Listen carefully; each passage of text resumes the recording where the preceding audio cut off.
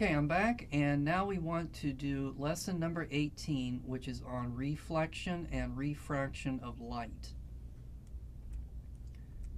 So read your lesson objectives. Then this is going to correspond to chapter 28 of your textbook, uh, sections 2 through 7. So let's begin by talking about reflection. You've got to know the definition of reflection. So it's going to be the bending of a wave when it bounces off of something. So in the picture down there at the bottom, you have a mirror, and then the light is coming in, and then it is bouncing off the mirror, and then it's going out in this direction. So that's reflection, the bending of a wave when it bounces off of something. Now, this happens for both electromagnetic waves, which is light, and it also happens for mechanical waves. So, this could be an earthquake wave, and then it could be reflected off of uh, some rocks inside the earth. But for this lesson, we're only going to be talking about light waves and what they do. So, there is, it's not much of a formula. So, the formula for reflection would be the angle that goes in equals the angle that comes out. So it's such a simple formula, I didn't even bother to put it on there. But the angle that goes into a mirror has to be the same as the angle that comes out. Now, normally, we're going to measure that angle this way. So you got that angle, and then you got that angle, and those will be the same. But you also could measure this angle down here, and it would be the same as this angle over here. Doesn't really ma make much difference the way that you measure the angle. So the angle going in is the same as the angle coming out. So some interesting things about flat mirrors and, and the their images that they produce.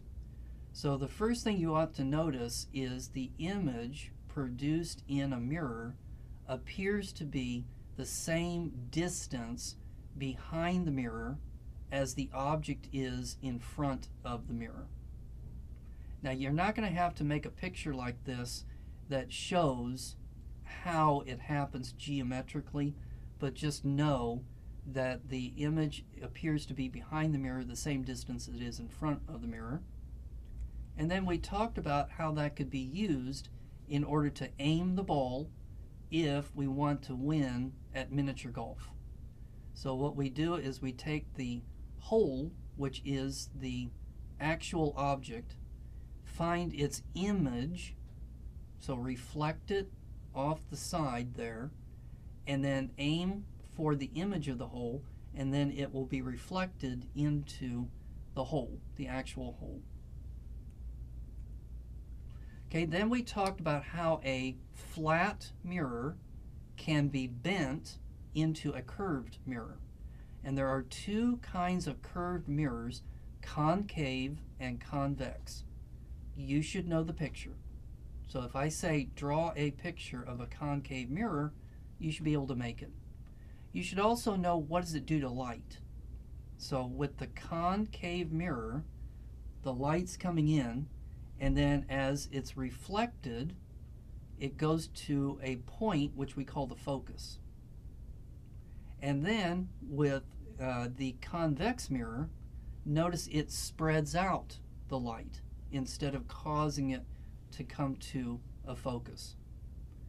You should also be able to give me examples of where you find concave mirrors and where do you find convex mirrors. Okay, I wanted to show you it can be geometrically calculated where the image is going to end up. So if you have an object in front of one of these kinds of mirrors, you can geometrically show where the image would be. You're not going to do it. Okay? So just ignore this slide. You can also calculate where the image is going to be located using this formula. you're not going to do it. So don't worry about that formula. All right, then we had plane refraction. So this is going to be the bending of a wave. So notice it starts out exactly like reflection. The bending of a wave, but this time it's going to be the bending of a wave when it goes through something. So it could be going through water, it could be going through plastic, it could be going through glass. So it's going through some substance and it changes direction when it does so. And then there's a formula for it, which you don't need to know, but I just wanted to show it to you for comparison purposes, that it would depend on the substance that the light is going through. So that's called the index of refraction. So this would be the index of refraction um, of the uh, wave that is going into the material, and then it's the sine of the angle going in, and then it's equal to, we do the same thing on the other side, this would be the index of refraction of the material that it's inside of, and then this would be the sine of the angle uh, inside of it. So notice how similar this is to this formula up here. A little bit more complicated, but in some respects it's similar. Now, what I want you to be able to tell me is why uh, does light slow down when it goes through a material? It really doesn't. Light travels at the speed of light. But what happens is that in a material, you're going to have atoms.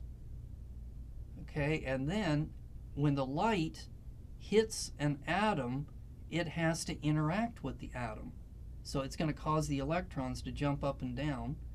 And then a split second later, it's going to spit the light out, traveling at the speed of light.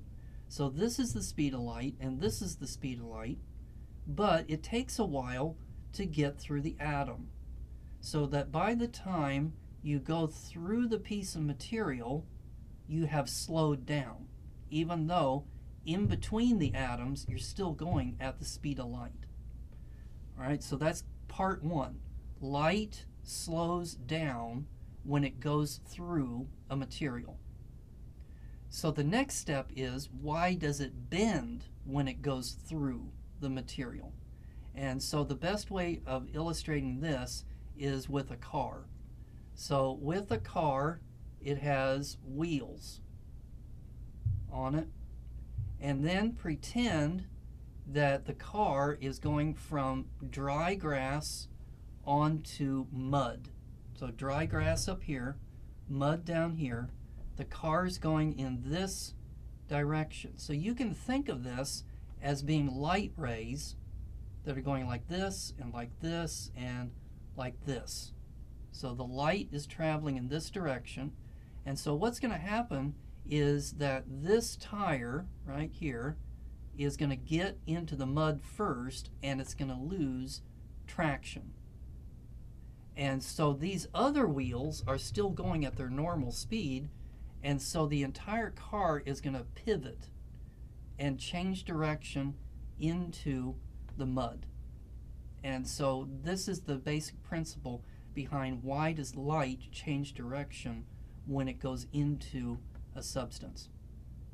So I could give you a question on the exam in which I give you, and let's say that the mud is up here, and then the dry grass is down here, and then I say, here's my incoming wave.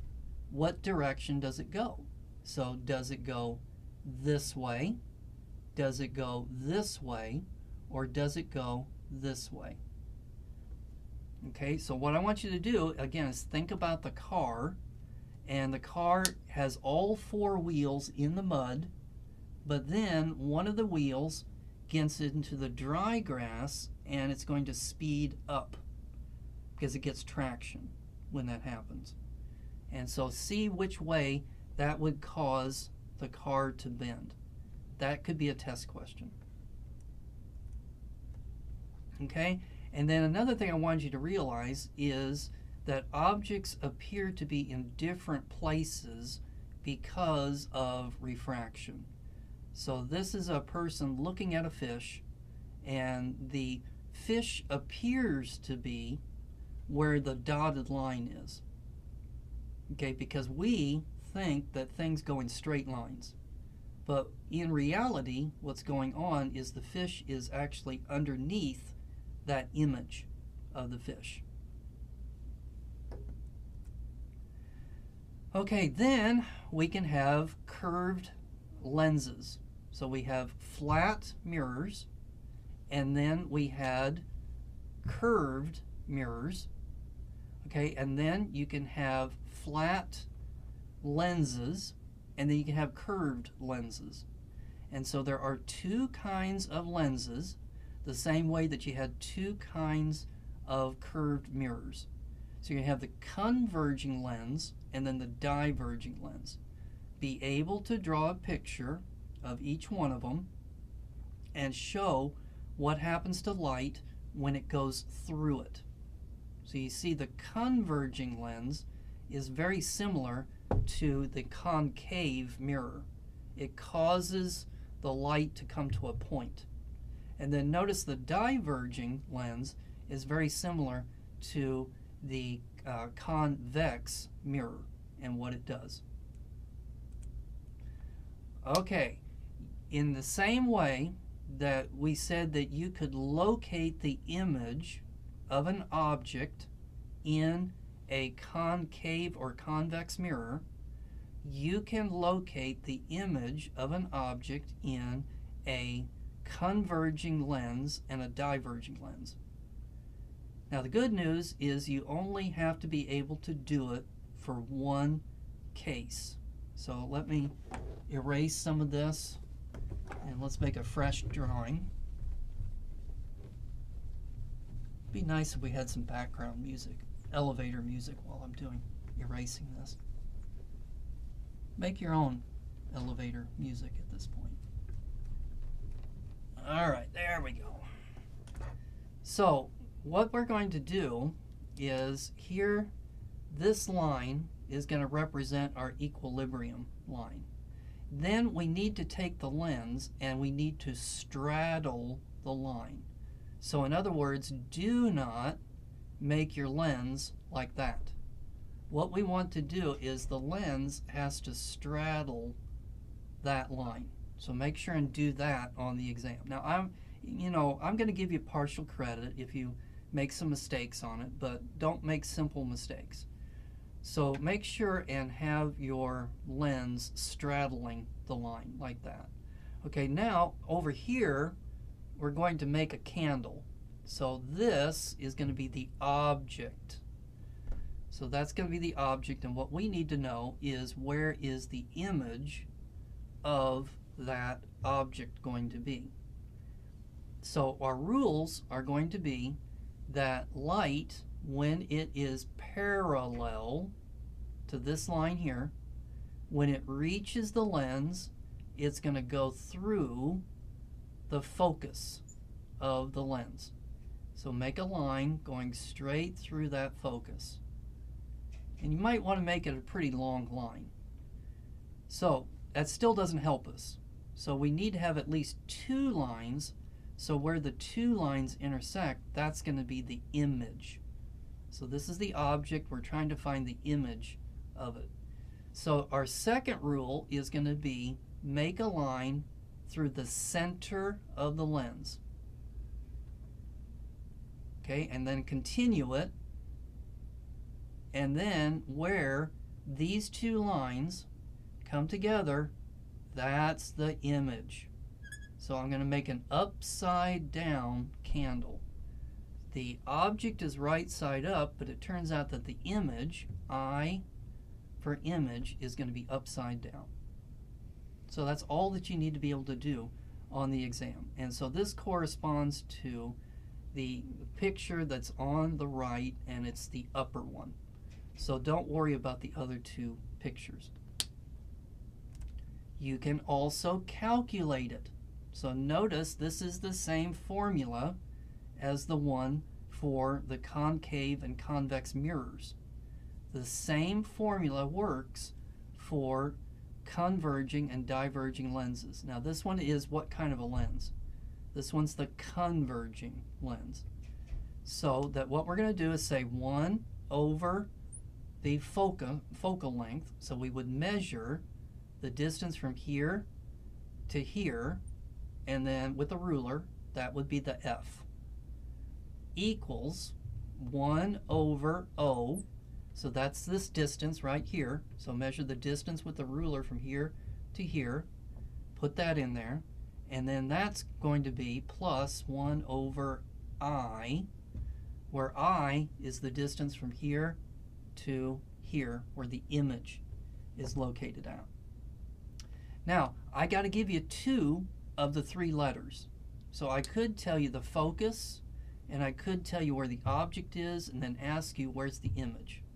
Or I could tell you where the object is, I could tell you where the image is, and ask you to calculate what was the focus of this lens. So I got to give you two of the three, and then you can solve it. And so here is a example of how to do that. Okay, then we talked about rainbows. So I might have given you the impression that all colors of the rainbow are going to be bent at the same angle when they go through a piece of glass. They're not. Because different frequencies of light are going to interact with the atoms of the glass differently. So some colors will react very weakly with those atoms. And so they basically go right through the piece of glass and they don't bend much. But others do. So this the top picture shows how the color blue is bent going through a prism and then it shows the color red and how it's bent as it goes through a prism. And now remember that red and blue are on opposite sides of the Roy G. Biv thing. So that means that all the other colors are in between the red and the blue. So that if you take light and you pass it through a prism, you get the rainbow of colors. Then we use that to explain rainbows. So that a single droplet of water is going to act like a prism. And so light, when it goes into it, is first going to bend because of refraction and then it's going to uh, bend again uh, due to reflection. And then it's going to bend one more time due to refraction when it comes out. And all the different colors of the rainbow are going to do this. So that's part one. You see a rainbow because every droplet acts like a little prism. But it's more than that what causes the bow? So why is it that it makes the rainbow of colors into a bow like this? And so again, I would refer you to this little video here, the rainbow on YouTube, where he explains that. Well, I think that's it. So that takes care of this lesson. So we've got one more left to review, and I will see you in just a moment.